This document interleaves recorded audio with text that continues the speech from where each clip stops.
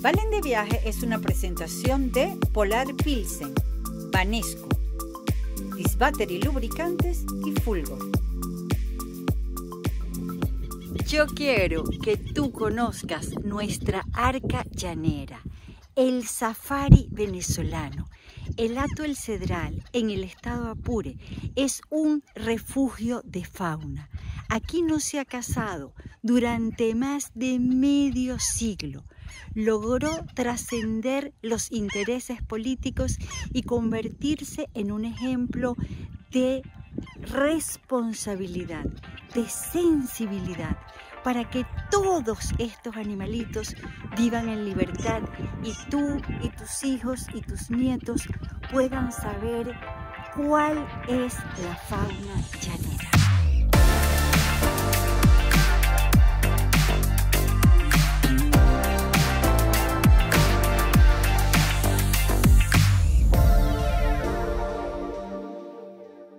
La primera reserva natural de la humanidad fue creada en Sri Lanka en el siglo III a.C.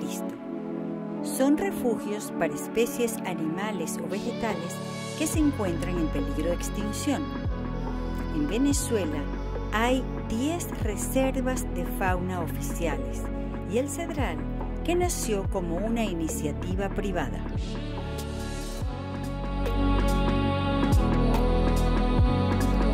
Se cuida desde los animales más comunes, como las iguanas que tú conoces. Y la iguana hembra. Aquí las dos junto a los chigüires. Casi siempre los machos de la naturaleza son más hermosos. La iguana hembra más verde, pero no tiene esas pullas. También se protegen las aves. Aquel que ven ahí es el gavilán chiriguare. Explícanos ese gavilán, Mucio. Bueno, el gavilán chiriguare es uno de los rapaces que se alimentan de carne fresca, pues. Y también le llaman gavilán jinete porque están arriba comiéndole la garrapata a los chigüires y así mismo el ganado. Son limpiadores,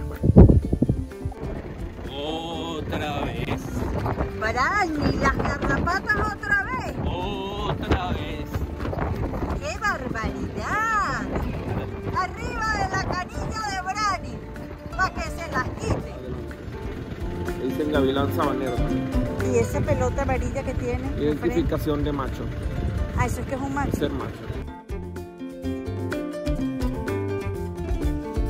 Aquí venimos todos buscando una laguna maravillosa donde hay montones de aves, hasta garzón soldado, porque es que se concentran en verano, ¿verdad, Monsieur? Sí, porque los ríos secan y aprovechan comerse los peces. Tenemos que ir súper lento.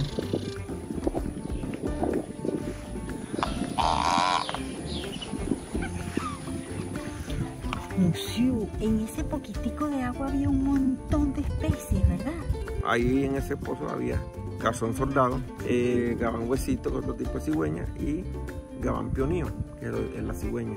Y corocoras. Y corocoras rojas también. Es bueno que sepan que el color, ese rojo intenso de las corocoras, se los damos nosotros aquí en los llanos venezolanos. Cuando ellas llegan al cedral, son un rojito ahí, todo percuso, ¿sabes? Como rosadito a penitas. Y aquí se comen unos camarones que les dan ese rojo coral maravilloso que hace que las podamos distinguir donde sea que estén. Es que Venezuela está entre los 10 países más mega diversos del planeta. Aquí tienen un ejemplo en ese espacito chiquitito. Estas son cotúas o corudas. Vamos a ver hasta dónde me puedo acercar sin que se muevan.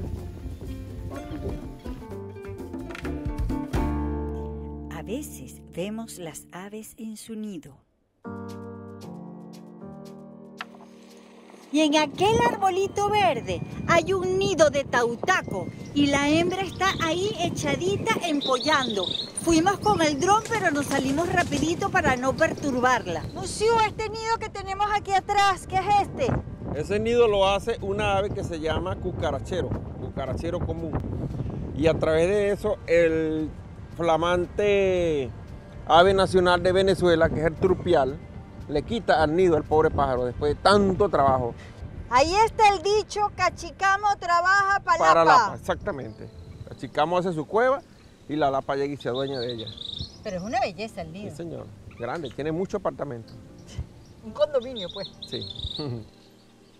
Pasamos muchísimo rato tratando de descubrir esta ave en una rama. Museo, ¿qué es lo que estamos viendo en ese árbol? Estamos viendo una especie de ave que es familia de los búhos. Él es nocturno.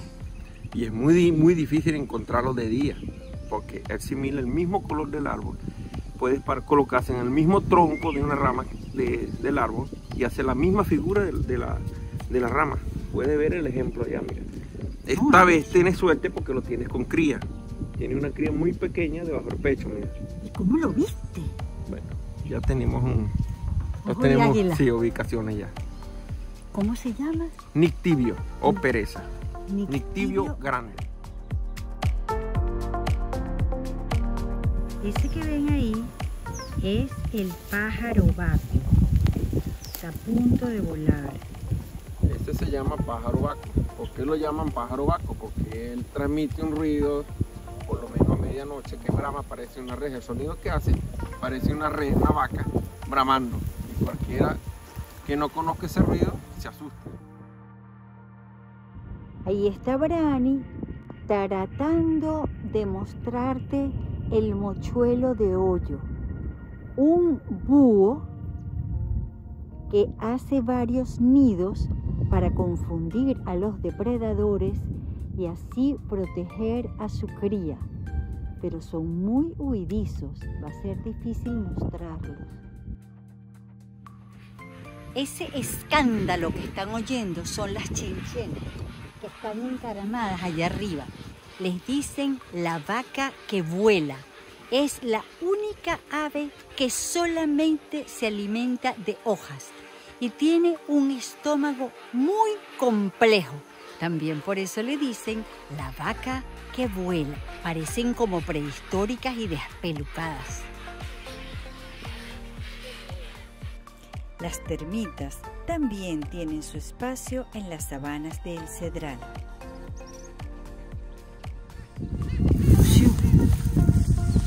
¿qué son estos montañitas que parecen piedra? Estos se llaman termitas. Termitas de sabana. Son muchos montículos que, que ellos fabrican. Y por eso es que abunda mucho el oso palmero aquí también. Así. Porque él come termitas también. Ojalá lo veamos. ¿Y para qué se usan esos nidos? ¿Los usan para alguna otra cosa? Eh, bueno, en el llano, yo no sé si te he escuchado que se usa para la topia de fogón. ¿A cómo es eso? Eso es, bueno, agarran la, el, la- el, el bulto completo, lo cuadran cuadradito Ajá. y pueden ser de tres o cuatro y le meten su leña y ahí cocinan. ¿En eso ya, serio? sí señor, eso lo llaman la topia de fogón.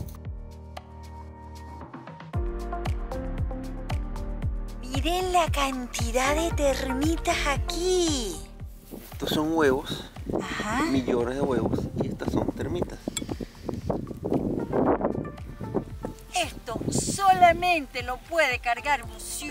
Con razón tú dices que sirve para hacer fogón. Claro, muy fuerte. Pero impresionante, ve. Nada. Es como, como de cemento. Ay, ¿cómo lo pudiste descargar?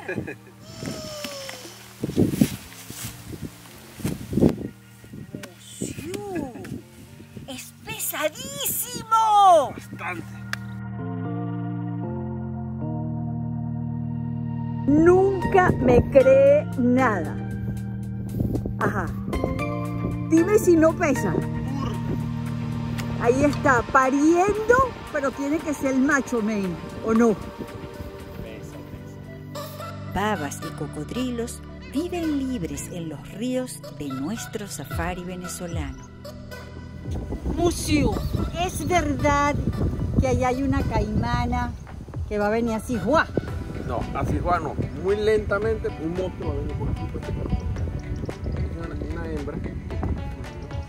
Justamente acá. No aquí lado. Bueno, si ustedes quieren ver a esa caimana, si no le creen a Monsieur, tienen que suscribirse en mi canal de YouTube.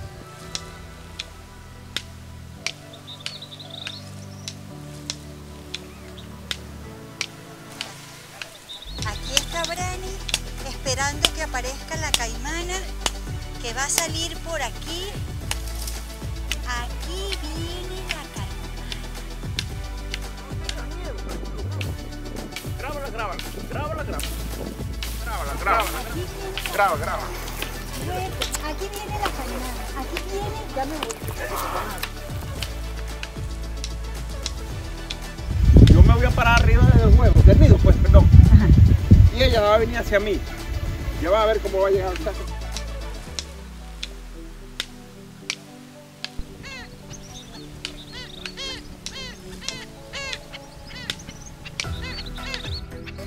Esa es una madre protegiendo sus crías. Por eso se vino esa caimana, porque ese es su nido. Así que vamos a dejarla quieta, no vaya a ser. Oye, Monsieur, yo creo que vas a hacer que nos dé un soponcio a todos con estas emociones. ¡Qué caimana tan delirante! Y lo que falta. No solo viven libres los vagos, sino que ofrecen un show.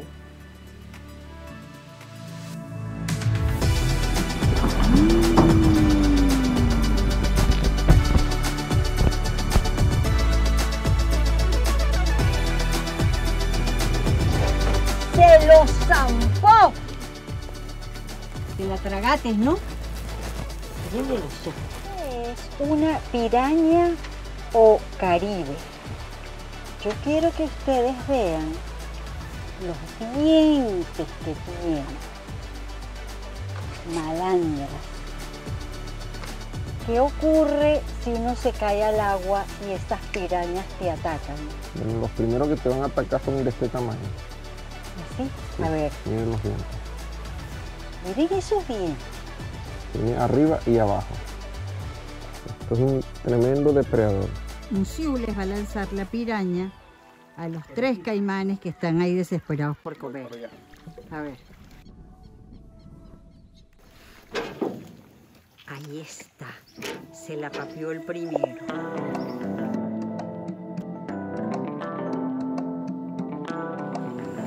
Todas esas cabecitas que ven allí son galápagos. Montones. Cientos. Qué cosa tan impresionante. Los más celosos guardianes de la fauna en nuestra arca llanera son sus guías, llaneros apureños criados aquí. Monsieur, ¿qué ha significado para tu corazón, para tu alma, amanecer en el llano desde el día en que naciste? Bueno, significado totalmente una gran alegría porque es una hermosura muy grande, una extensión de terreno, bueno, maravilloso. Tú naciste y te criaste en el Cedral. Sí, yo nací y me crié en el Cedral. Yo tengo acá 44 años y me recuerdo mucho del primer programa suyo de Bitácora. ¿Tú crees que los animales en el Cedral conversan contigo? Mm, bueno, no sé, pero sí se ve que se unen a uno también la protección que tenemos acá de fauna silvestre. ¿Tú quieres que tus hijos y tus nietos conozcan estos animales como los conociste tú? Claro que sí. Que sigan siendo la misma rienda como hoy, exactamente. Que crezcan junto a los animalitos. Este amor a la naturaleza hay que tenerlo desde pequeño. Y tú lo tienes. Sí, me gusta mucho. Lo estoy. Como buen llanero, Musiu es de poco hablar. Resulta que el chigüire es el gran amante de la naturaleza. Ahí donde lo ven en el río, es capaz de copular con la hembra hasta 23 veces. ¿Cómo les quedó el ojo? ¿Ah? Miren ese macho altivo de chigüire. Es que sobra como para estar así junto a toda su familia. Porque siempre están los chigüires buscando el agua, ¿no Primero en principal son animales que necesitan refrescar temperatura. Ellos prácticamente son reconocidos por primera vez en una historia como ratas gigantes de agua. Ellos son acuáticos prácticamente. Y puedes observar el fondo ahí. Ellos son el roedor más grande del mundo. Puede tener dos machos, un macho dominante del grupo y tres hembras. Y esas tres hembras van a formar otra cadera, otra familia. Y así sucesivamente.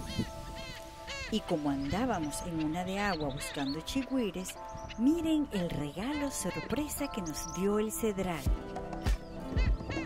Es dificilísimo de ver, casi nunca se aparecen, es todo un privilegio que hayan salido. Y esta cantidad de perros de agua de las nutrias, ¿qué nos puedes contar de ellos? Primero en principal la suerte que te tienen, tienen demasiado suerte. Casi nunca se ven. Sí, ellos son muy ariscos, muy, muy mañosos como decimos en el llano. Pero esta oportunidad que tienes aquí en este río que está despejado, anda una manada de cinco animalitos que están totalmente bueno saludándote porque antes lo veían y se perdían de una. Y también porque debe haber mucho pescado en el río. Están pescando, están comiendo. Están comiendo, Esos son los privilegios que nosotros recogemos para ti, para que veas las nutrias, los perros de agua, fauna llanera, fauna venezolana que tenemos que cuidar en este país recontra mega diverso. Otra sorpresa. Aquí hay un mapache. Aquí hay un mapache. ¿Qué hace el mapache? ¿Cuáles son las características del mapache? Valentina, el mapache, bueno, es un zorro, un tipo de zorro. Pero la especie es un zorro cangrejero. Y ya no le dicen zorro lavamano. ¿Lavamano? Lavamano. Es cuando agarra la presa, Él, tiene su presa comiendo, ¿verdad? Y de repente va al caño, a un río, o sea, a lo de la, donde hay agua. Y empieza a hacer. Por eso lo llaman zorro la mano. Se moja y se para y hace así. ¿De verdad? Sí, por eso llaman zorro la mano. Tan juicioso. Sí. Con la convicción de que el que busca encuentra, nos vamos al otro lado del caño Matillure a buscar animales en nuestra riquísima arca llanera. En el llano no se vale eso de que la vida se mide por los ríos donde te has bañado, porque nadie se mete en los ríos llaneros. Menos aquí en el Cedral, hay muchos peligros en el agua. ¿Qué hay ahí? Ahí tienes pirañas que llamamos caribe, te van a atacar igualito. Tienes cocodrilos, babas, rayas, inclusive hasta un rollo de anaconda te puede ahogar ahí. Y también hay tembladores. No te salvas de ningún peligro en los llanos. Les quedó claro, ¿no? Nosotros vamos a ver si conseguimos la anaconda. Sí, vamos para allá a ver si conseguimos la anaconda. buscar la anaconda.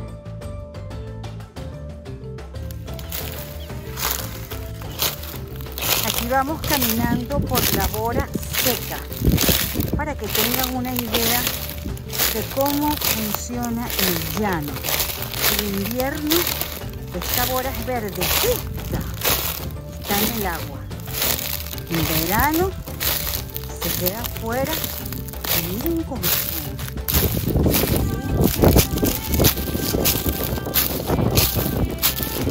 Y aquí tienen la bora en su esplendor cuando está en el agua. Su hábitat natural. Miren hasta donde se extiende. Después de caminar más de un kilómetro bajo la chapa de sol, no hemos conseguido la anaconda, pero tenemos... Tenemos probabilidades 100% de conseguir la anaconda. Ya conseguimos la primera presa, una baba. Aquí, la tienes. La babita con la boca abierta. Continuamos con la anaconda. La soltamos ahora. La vamos a soltar, ¿verdad? Sí, señor. Ajá. Eso.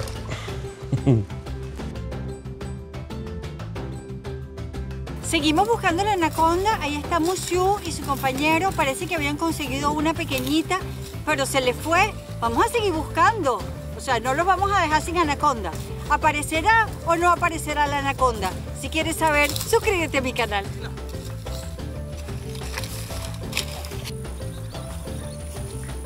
¿Qué viene? Aquí tengo la anaconda pequeñita. Dice Manguila que son rapidísimas, así que tampoco es que me voy a poner a modelar. Nosotros conseguimos una bebé, pero las anacondas pueden medir hasta 12 metros de largo y pesar 200 kilos. Así que soltamos de inmediato a esta bebé para que crezca libre y dichosa en el cedral.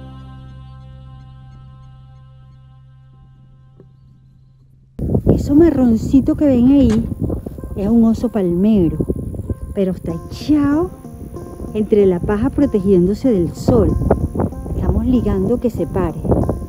Aquí ya llegaron Musiu a despertarlo y Brani con su cámara a mostrárselos a ustedes.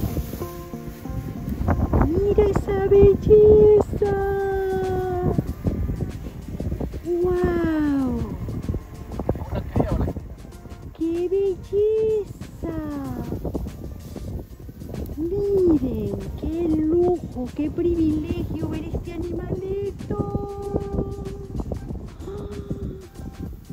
¿Qué podemos decir del osito palmero? ¡Qué belleza! Primero, una gran suerte. Andamos, buscando anaconda y parece una anaconda pequeña. Y esa es una cría de oso palmero. Sí, quiere decir que la mamá está durmiendo por ahí más adelante. Y esos son los que se alimentan de las Termitas, y ¿no? hormigas también. Sí. Y es una cría que tendrá cuánto tiempo? Eh, tendrá como unas dos, tres semanas. Ah, tan pequeñito, Pequeño, sí. un bebé. Sí, un bebé. Por eso estaba dormido. Por eso te digo que la mamá debe estar por ahí cerca.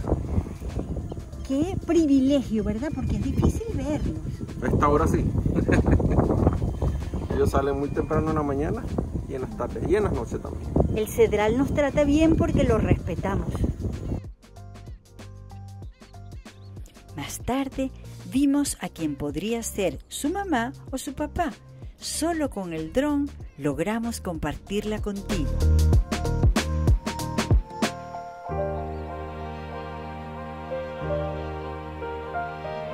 Lo mejor es que te puedes hospedar en el campamento El Cedral.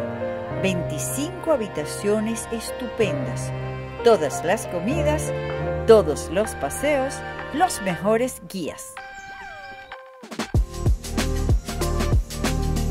Yo quiero que tú y todas las generaciones que nos siguen puedan conocer nuestros animales llaneros felices y en libertad.